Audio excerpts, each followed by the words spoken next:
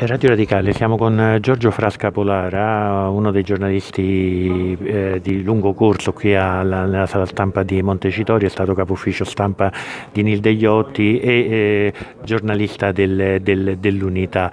Lo facciamo per parlare della scomparsa di Rossana eh, Rossanda. Nel 1969 Giorgio Frasca Polara... 69. 69, ho detto 69. Nel 1969 Giorgio Frasca Polara lavorava al quotidiano L'Unità e ha seguito anche i lavori del, del Comitato Centrale del Partito Comunista Italiano che sancì l'espulsione del, del gruppo, la, del, radiazione. La, radiazione, la radiazione del, del gruppo del, del, manifesto. Allora, in quel periodo uh, che cosa facevi? Ci spieghi uh, che ricordo hai di quel... Di, io, di quel... Sono, io sono tra i relativamente pochi che hanno vissuto dall'interno della riunione del Comitato Centrale e della Commissione Centrale di Controllo è la drammatica, lunga seduta eh, in cui si decise la radiazione eh, dei, eh, tre, eh, dei, tre, che insieme a Lucio Magri eh, eh, venivano, venivano radi- appunto radiati. E, eh, Rossana fu la prima eh, dei tre, Pintor e Natoli erano gli altri due, fu Rossana la prima inter- dei tre la prima a intervenire, eh, diciamo eh, mezz'ora, tre quarti d'ora dopo la relazione di Alessandro, di Alessandro Natta. Eh, ricordo perfettamente le parole con le quali eh, Rossana eh, confermò eh, con fermezza e anche con una qualche soavità, eh, perché lei era una eh, persona civile, soave, con cui insistette. le ho scritte un gesto di, obbeden- di obbedienza forse ci acquieterebbe, ma spegnerebbe coerenza morale e peso di responsabilità.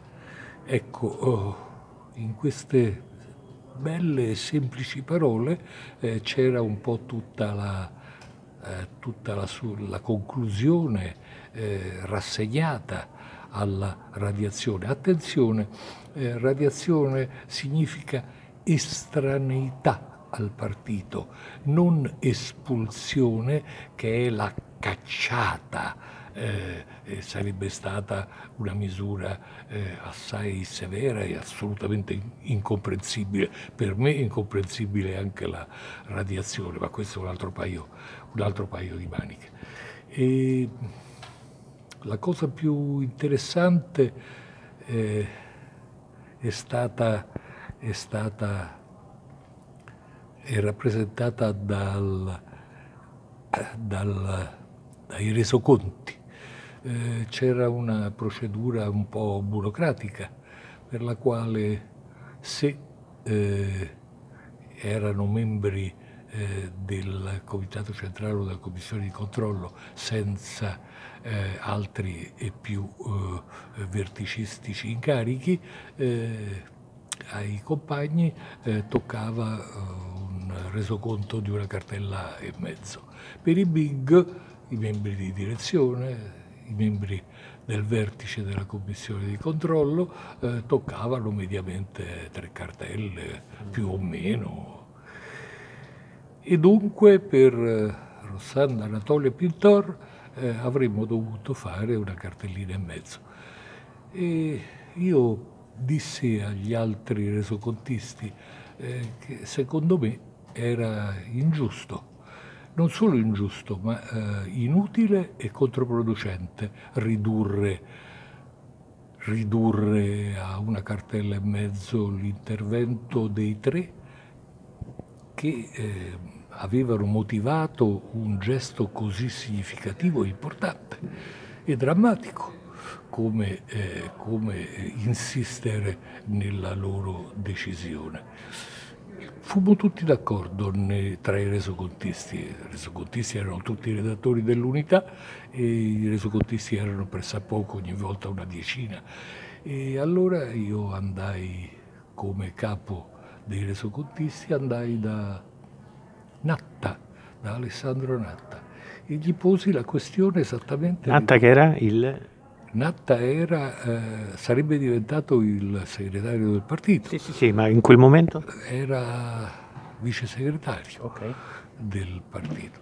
E posi la questione in questi termini. Dico, guarda, dico, non è solo una questione di eh, ridurre all'essenziale, è anche una eh, questione di evitare che eh, due ore dopo eh, ai giornalisti cosiddetti borghesi eh, che sostavano eh, nell'androne del bottegone, eh, risparmiare le voci, le indiscrezioni, invece un resoconto perché i nostri resoconti andavano anche eh, ai eh, giornalisti dei giornali cosiddetti, allora si chiamavano eh, cosiddetti borghesi, eh, dare un resoconto realistico. Natta fu assolutamente d'accordo senza discussione e noi potemmo scrivere eh, tre resoconti ampi che davano, eh, che davano il senso preciso della loro, della loro eh, posizione. Quindi non venne tagliato nulla di quello che loro avevano detto? Ma ci mancherebbe. Eh, fu una testimonianza da un lato di onestà intellettuale di Natta, eh, dall'altro eh, ai resoconti, noi resocontisti eh, rivendicammo eh, di avere, di, avere fatto, di, avere fatto, il nostro dovere di giornalisti eh, francamente non ci furono obiezioni ex post ma per la verità non ci furono nemmeno né ringraziamenti né apprezzamenti da parte di chi che sia, anche dei tre interessati. Senti, chi gestì l'operazione della radiazione del gruppo del manifesto? Allora, Longo nel, nell'ottobre del 1968 ebbe un, un ictus, come tutti sì, ricordano, sì. dopo i fatti di Cecoslovacchia. Allora, la al, palla... congresso di Bologna, eh, al congresso di Bologna lui era già era già malandato, insomma, via, sì. Sì. Quindi la gestì Longo, il vice segretario, che era napolitano forse? Era Berlinguer. Era Berlinguer. Il... Era Berlinguer. Eh, la gestì non tanto Berlinguer quanto tutto il gruppo dirigente del... Quindi Berlinguer era d'accordo con Longo? Sì, era d'accordo con Longo, insomma, sì, sì, sì. sì. Se, secondo voi era la cosa che aveva fatto traboccare, cioè, fatto traboccare il vaso era stato più la fondazione del manifesto o la posizione che avevano assunto i dissidenti del manifesto? No, io credo che era in sé la, la, la fondazione del manifesto, in sé, cioè eh, quando allora eh, la fondazione del manifesto fu considerata una eh, deviazione, una, eh, una, insubordinazione alla linea, alla linea del partito. Voi all'epoca, mm, voi, chi? voi nel senso nel, nel Partito Comunista, nel, nel, nel, giornale, si discusse del fatto che la questione del, della radiazione degli esponenti del manifesto poteva avere un grosso contraccolpo per, per, l'immagine del Partito Comunista come Partito Democratico che cacciava delle persone che avevano una posizione così, assunto una posizione così chiara sui fatti che c'erano stati nel 68? Io non credo, non credo eh, non solo perché i risultati, i risultati elettorali non eh, non confermarono questo tuo, eh, questo tuo sospetto. Mm. Eh, ma... Però crebbe molto il Movimento Sociale Italiano nel 72. Sì, sì, crebbe, crebbe soprattutto nel Mezzogiorno, crebbe, non parliamo poi in Sicilia, eh, ma non, non, non ebbe nessuna, nessun rapporto, si stabilì alcun rapporto con con la vicenda del manifesto. Mm, Assolutamente. Il PC perse, ci fu questa, questa nascita di, di, forze extraparlamentari, la nascita del, de, del PDUP? Cer certo, eh, ci fu la, la, la, beh, i, i, i, cosiddetti radiati eh, dettero,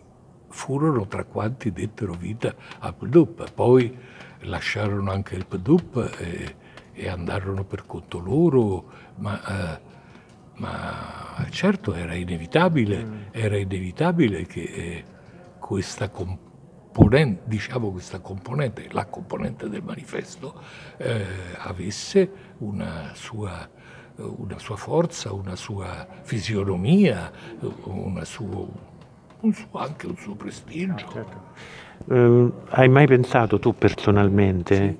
Se fossero rimasti, se il Partito Comunista avesse evitato quel tipo di, di, di processo, ecco, non sarebbe convenuto a tutti per dimostrare che il Partito Comunista era un partito plurale, eh, democratico, che, non, eh, che sapeva dialogare anche al suo interno? Beh scusa, eh, la storia non si fa con i sì.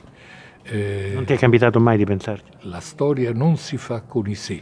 Se poi tu mi chiedi eh, la mia opinione personale sulla radiazione, ti dirò che io eh, sarei stato contrario alla radiazione, ma eh, questo è un eh, sentimento, un'opinione che fu in quel momento eh, eh,